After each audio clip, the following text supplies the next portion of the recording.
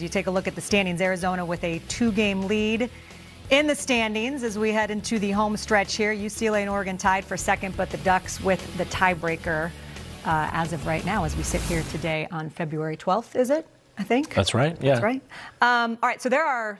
We've got five teams in the top 50 in the net. So we're going to take. I want you to take me through. It is. It is mm-hmm. never too early and too often to be talking about exactly where things are shaping up for the NCAA tournament. So if it started today, three teams safely in. Yeah, no doubt. No doubt. Uh, Pac 12 has three teams in, and not only three teams, but two of them very high on the list. Number four, Arizona. Number 12, UCLA. Obviously, 21, SC. And like I said, right now, those teams are without a doubt, unless they had something crazy happen. But you look at the Arizona resume, net ranking is two. A ton of quad one uh, wins all of a sudden. Actually, from the last week or so, it really bumped up six and two. And then you look, they actually still have some pretty decent ones, the one at SC being the highest. But I think if you look at, at Arizona, there's right now they're on the one line. They're actually right behind Gonzaga. And Arizona fans, you're going to love to hear this because Joey Brackets has them number one in the South. That's go. where they were 25 years ago, 1997, mm. when they won the title. And that and that was the year they beat three number one seeds, beat Kansas, unbelievable run. So they're lining up for it. UCLA right now, net ranking 14. I like their Q1 record, the quad one record, and they have some good ones coming up. Obviously today at SC, and then they get SC at home, and then a big one at Oregon. I think it's interesting right now when you think of this UCLA team. Joey Brackets has them on the three line, which I think is just about there for them with that 14 net ranking.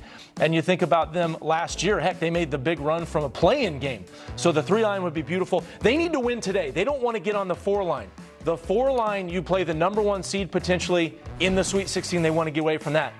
SC right now, solidly in, having a really good year. Not a ton of quad one games, actually, which is interesting. Only two games, one and one in those. Net ranking 29. And right now, Joey Brackets has them at number seven in the tournament. Last year, they were number six, made an elite run, so they're right about where they were last year. Kind of interesting. I think they need to win today, Ash, because they don't want to drop to the dreaded 8 9, and then you play the number one seed in that second round. Now, bubble teams for the Pac 12. I think on the right side there, Arizona, uh, Oregon, they are in. Net 46, but they've had some pretty good wins lately. Joey Brackets has them right now at number 10. I think they're solidly in. They just need to keep playing well. Though, probably the strangest team in the Pac 12 in terms of net and tournament, net 42. Washington State. They're ahead of Oregon, but they're not really even being talked about as close to the bubble. So, reason being, the net really takes into consideration close losses and big wins. They've had eight losses. Seven of their losses have been by six points or less. The only one that was not, the other night against Arizona. So I think they've got the record. Joey Brackets, listen, look for Washington State. Have you been to Pullman? Have you been to Pullman, as Bill Walton would Beautiful say? There. Come on, oh. let's go. So, is there anyone else? Hey, three teams, in my opinion, have a chance, and I'm not saying right now they have a chance to make it at an at large, but they could win the tournament. You think of last year, Oregon State 106 in the net heading into the Pac 12 tournament. Wow. These teams are right in that area. Stanford 90, Buff, uh, Colorado Buffaloes 93, Washington, the team that's playing the best out of those top three or four teams that we just mentioned. I think Washington is the one sleeper team that could possibly win the Pac 12 tournament. Now, the other thing to point out, they have five quad one games left.